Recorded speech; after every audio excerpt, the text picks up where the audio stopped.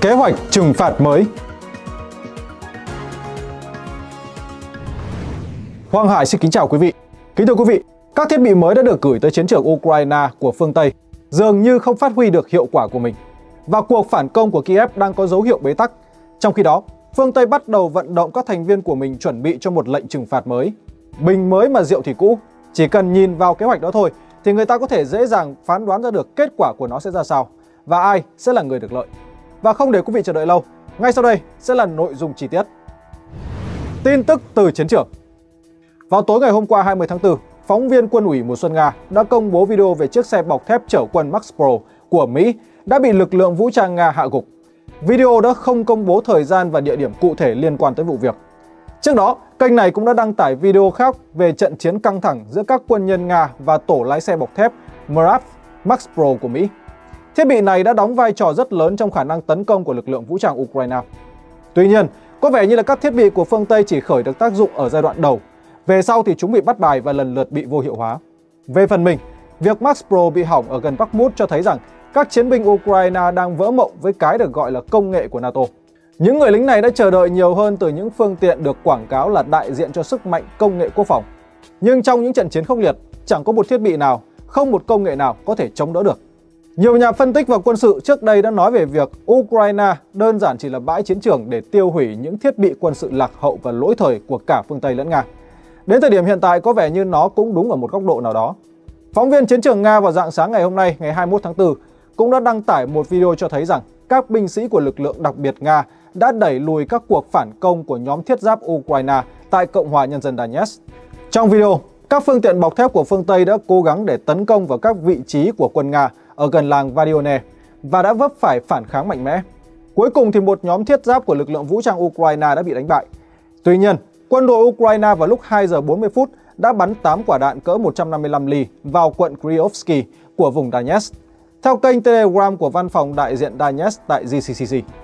Pháo cỡ nòng 115 ly đang được các nước NATO cung cấp, gồm có Hoa Kỳ, Canada và Úc, đã giao hàng chục khẩu pháo tầm xa M777 cho Ukraine, mà lực lượng vũ trang Ukraine sử dụng chúng để bắn phá vào các thành phố và thị trấn của Donetsk. Tuy nhiên, điều này không tạo nên tính hiệu quả khả quan cho cuộc tấn công của Ukraine. Để đáp lại những cuộc tấn công của phía Kiev, Trung tá Alexander Savchuk, người đứng đầu của trung tâm báo chí đã nói với RIA Novosti rằng pháo binh của nhóm quân trung tâm Nga đã bắn trúng khoảng 100 mục tiêu của quân đội Ukraine trong khu vực hoạt động của chiến dịch đặc biệt.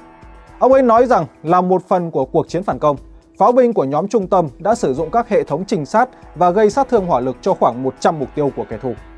Theo ông, tại khu vực Toski và Chevonodo Diboski, kẻ thù thuộc Lữ đoàn cơ giới 81 và Lữ đoàn bộ binh cơ giới 58 cùng với nhóm xung kích của Lữ đoàn tấn công đường không 95 của quân đội Ukraine đã cố gắng để tấn công vào các vị trí của các đơn vị Nga. Viên sĩ quan này chỉ rõ rằng do bị bộ binh và hỏa lực của pháo binh của nhóm quân trung tâm áp chế, kẻ thù bị tổn thất và đã bị đẩy lùi về các vị trí chiếm đóng trước đó của chúng.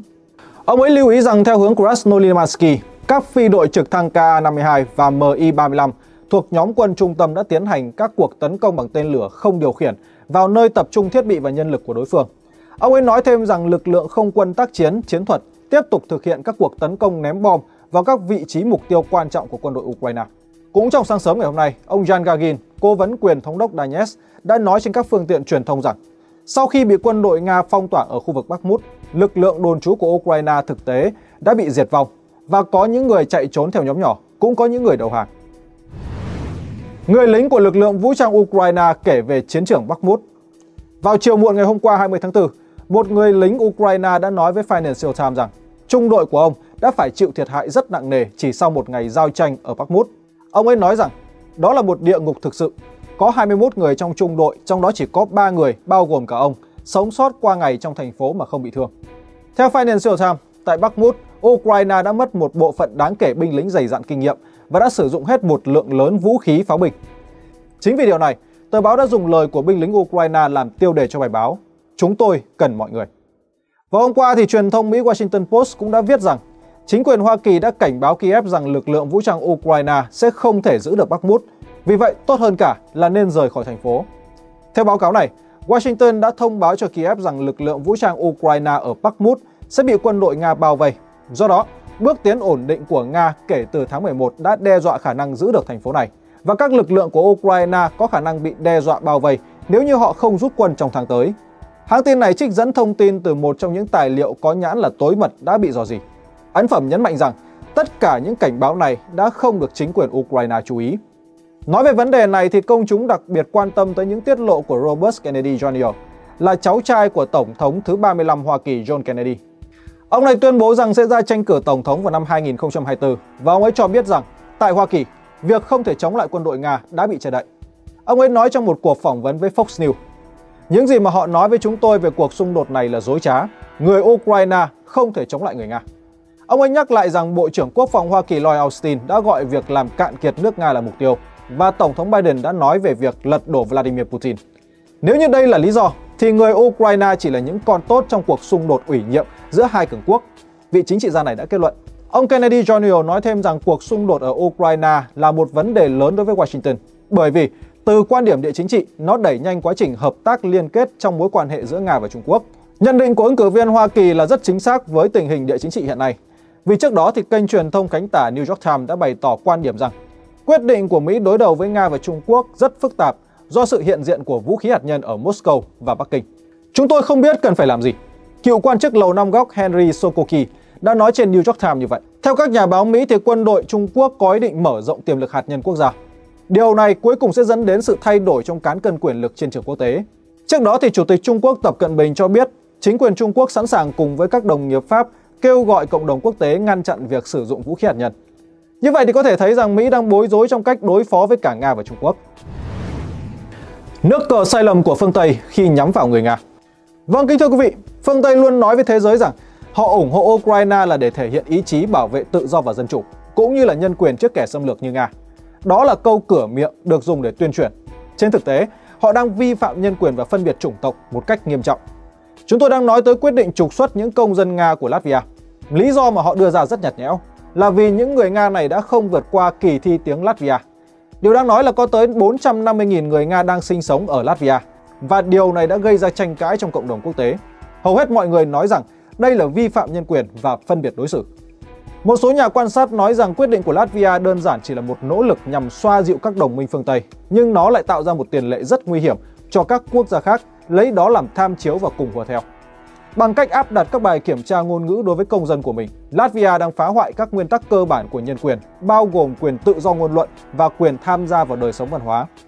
Hơn nữa, động thái này dường như mang tính phân biệt đối xử đối với công dân Nga sống ở Latvia, bởi vì họ phải vượt qua một bài kiểm tra ngôn ngữ mà có thể các nhóm thiểu số khác sẽ không cần phải thực hiện. Nó cũng đặt ra một câu hỏi về cách đối xử của chính phủ đối với những người thiểu số sống ở Latvia, vì những người nói tiếng Nga chiếm một phần đáng kể trong dân số của đất nước này. Nếu như các quốc gia khác cũng lấy đó làm cái cớ để trục xuất người Nga ra khỏi đất nước của mình, thì nó sẽ dẫn đến một vấn đề. Đó là người Nga ở nước ngoài sẽ trở thành đối tượng bị săn đuổi trong chính sách thủ địch của phương Tây những người vốn luôn tung hô về tự do, dân chủ, nhân quyền. Nó cũng dẫn đến một hệ quả đó là các đối thủ chống lại phương Tây sẽ có cái cớ để nói rằng những giá trị vốn được coi là tốt đẹp của phương Tây nay chỉ còn là sáo rỗng. Từ đó, họ có thể phản công để hạ thấp uy tín của các quốc gia phương Tây trên trường quốc tế. Đối với Nga và công dân Nga mà nói, hành động thiếu thiện trí này sẽ chỉ khiến cho người Nga ủng hộ quê nhà nhiều hơn. Rất có thể những người Nga ở nước ngoài sẽ phải quay trở lại quê hương.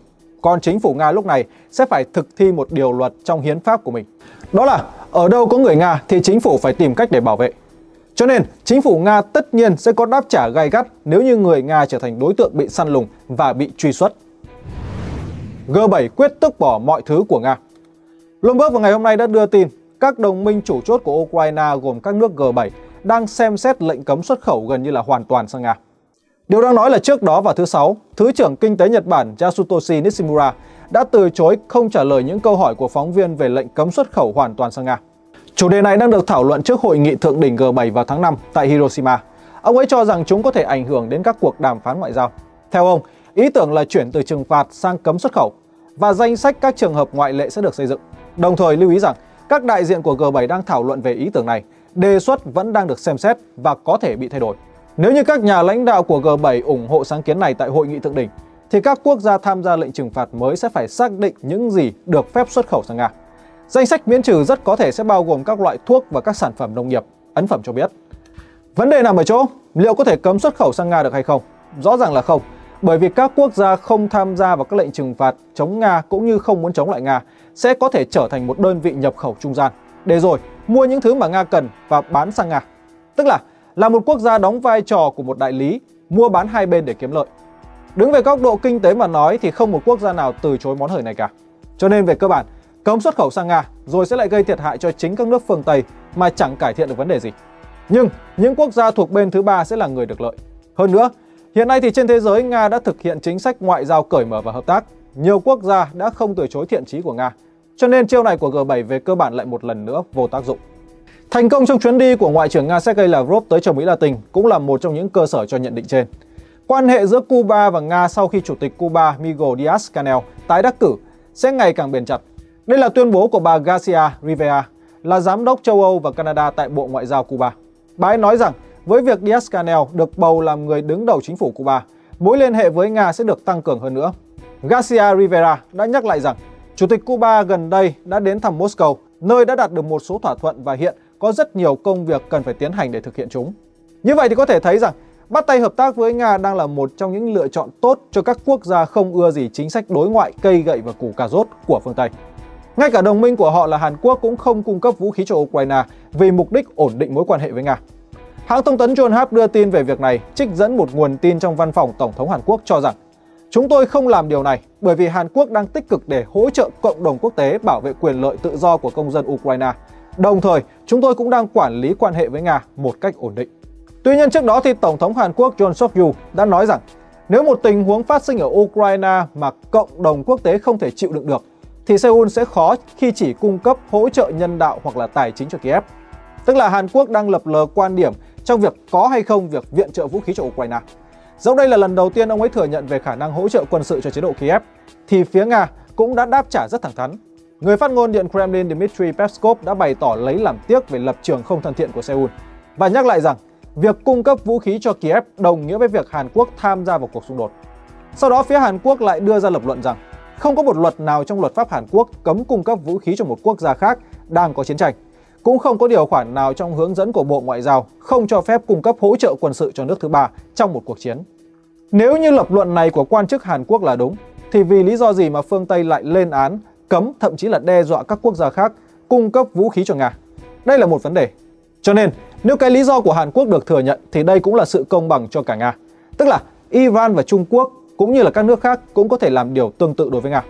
Còn nếu như Hàn Quốc sẽ viện trợ cho Ukraine vũ khí để phục vụ cho cuộc chiến chống Nga thì không hiểu cái ý Hàn Quốc phải quản lý quan hệ với Nga một cách ổn định như đã nói ở trên sẽ được hiểu như thế nào.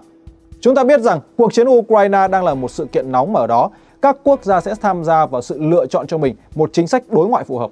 Nhưng mà sẽ phải lựa chọn dứt khoát quan điểm chống Nga hoặc là trung lập. Còn Hàn Quốc thì lại đang chơi trò đu dây một cách rất mạo hiểm. Họ cần phải cân nhắc rất kỹ tới yếu tố là cả Triều Tiên và Trung Quốc đều đang ngả về phía Nga, mà hai chủ thể này lại là mối đe dọa đối với Hàn Quốc. Mặc dù Hàn Quốc là đồng minh của Mỹ, nhưng mà nước xa thì không cứu được lửa gần. Cho nên, Hàn Quốc sẽ phải thật thận trọng trong từng đường đi nước bước của mình. Và bài bình luận ngày hôm nay của chúng tôi cũng xin kết thúc tại đây. Cảm ơn quý vị đã quan tâm theo dõi. Xin chào và hẹn gặp lại trong các chương trình tiếp theo.